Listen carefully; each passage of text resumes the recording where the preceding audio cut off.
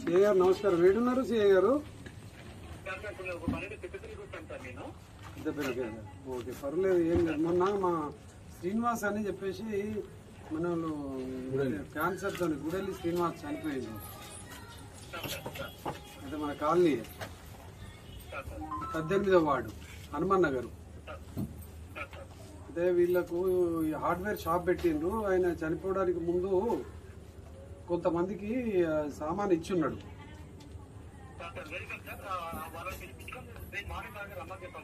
ఆ. Okay okay. రేపు morning ఇక వాళ్ళు ఎవరు వచ్చేటట్టు లేరు పాపం. మీరే వెళ్ళాలి వాళ్ళ ఇంటికి. ఇప్పుడు మీ ఏస్ ఆ.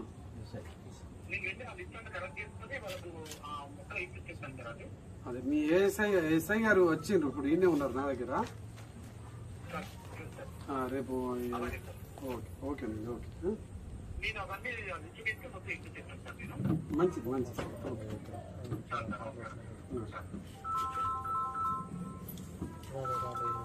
గారు కొంచెం చెప్తారు. ఆయనకు చెప్పేసి ఆయన వస్తారు. రేపు ఇటే వస్తారు. మీరు ఉండు పది పది గంట ప్రాంతంలో అవసరమైతే ఫోన్ చేయండి. లేకపోతే నువ్వన్నా ఫోన్ చేయండి. వాడు. పొద్దున తప్పుడు శంకరన్న తీసుకోవాలి. మీరు ఆయన ఎస్ఐ పిలుచుకొని సీఎం పిలుచుకొని ఈయనే కూర్చుంది ఇలాంటి ఇంట్లో ఆ చుట్టి అదంతా కూడా చూసి వాళ్ళు ఎవరో ఫోన్లు చేపించి వాళ్ళందరూ కూడా రమ్మని చెప్పి రమ్మని పిలిపించారు చేపి వీళ్ళందరి బాధ్యత అంటే ఐదు ద్వారా వెంటలేదు ఇప్పుడు ఆయన రమ్మన్నదే అందుకే. ఆయన అందుకే రమ్మని ఇడికి రమ్మని మీరు లేదు. వచ్చి దగ్గర ఉండి ఆయన చేపించి ఇప్పిస్తాడు మీరు జర ఫాలోఅప్ అంతే. ఇక నాకు రేపు మూడో తారీఖు నాకు జనరల్గా నాకు నెలకు నా పేమెంట్ ఉంటుంది. ఒక సభ్యత్వం అంటే దీనికి రావు. ఇది క్యాన్సర్ దీనికి యాక్సిడెంట్ డెత్ అయితే వస్తాయి. ఇన్సూరెన్స్ అది. కాబట్టి నేను నా పర్సనల్ అకౌంట్ నుంచి ఒక యాభై వేల రూపాయలు ఇస్తున్నాను.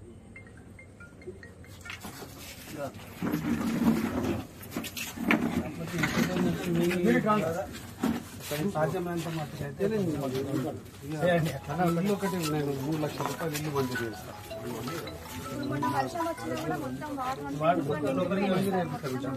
ఇల్లు త్రీ ల్యాక్స్ మనం వచ్చే నెలలో మన వచ్చే నెలలో ఇల్లు వస్తున్నాయి మూడు వేలు స్పెషల్గా నేను మొత్తం మధ్య రూమ్ దాకా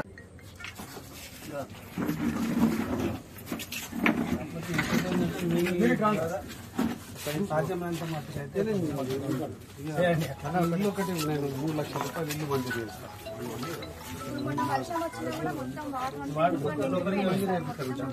ఇల్లు త్రీ ల్యాక్స్ మనం వచ్చే నెలలో మళ్ళీ వచ్చే నెలలో ఇల్లు వస్తున్నాయి మూడు వేలు స్పెషల్గా నేను రాబోయే మొత్తం మధ్య రూమ్ దాకా వచ్చినాయి సార్. మొత్తం డాడీ రెండు రోజులు మూడు రోజులు వర్షానికి నీళ్ళు లేకపోతే ఇది వేసే మేమే వేసుకుంటాం ఇదంతా మూడో తారీఖు నాడు నాకు అకౌంట్ ఇచ్చేస్తే అన్నట్టు. దాన్ని చెక్ అన్న ఇస్తాను లేకపోతే అమౌంట్ పంపించాను.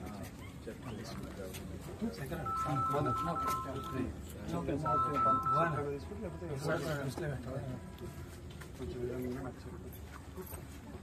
అమ్మ కూడా హెల్త్ బాగుంటుంది హండ్రెడ్ పర్సెంట్ మా కోఆపరేషన్ వీళ్ళకి ఇప్పుడు కాదు. ఎరువులు ఏదో మైనస్ చేసుకునే పరిస్థితులు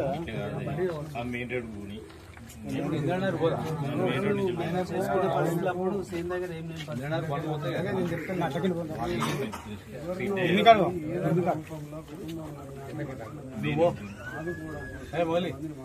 అంటే మానవ రూపంలో దేవుడు మానవ రూపంలో సహాయం చేసే పరిస్థితి.